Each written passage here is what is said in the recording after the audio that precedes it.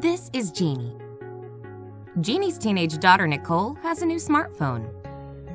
Nicole is very happy with her smartphone. At school the next day, Nicole accidentally drops it and cracks the screen.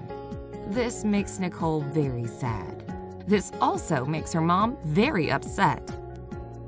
Mary knows the insurance deductible to replace the phone will be approximately $150 or more. Mary calls the insurance company and has the phone replaced. This makes Nicole very happy. Mary also went on charm14.com and ordered a smartphone wristlet. You see, the smartphone wristlet from charm14.com prevents Nicole from dropping her phone.